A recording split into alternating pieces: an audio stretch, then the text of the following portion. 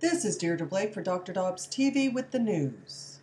Everyone's favorite cognitive computing system, Watson, is now available as a cloud service.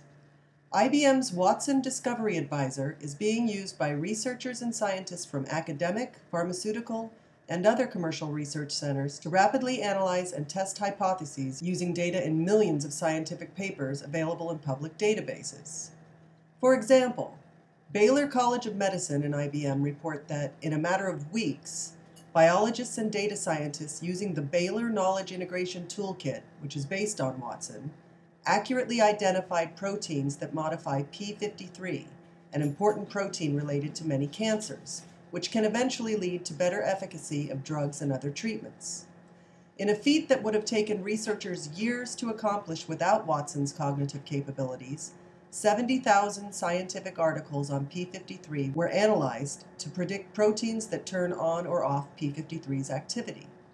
This automated analysis led the Baylor cancer researchers to identify six potential proteins to target for new research.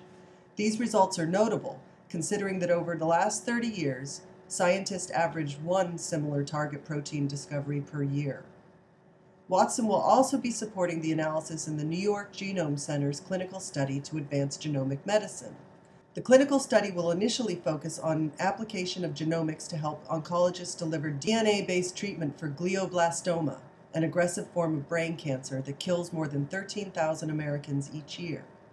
Despite tremendous discoveries in the genetic drivers of diseases like cancer over the past decade, big data makes it difficult to translate DNA into life-saving treatments. Based on results of this clinical study, IBM Watson could soon help scale up the availability of personalized treatment options. For Dr. Dobbs TV, this is Deirdre Blake.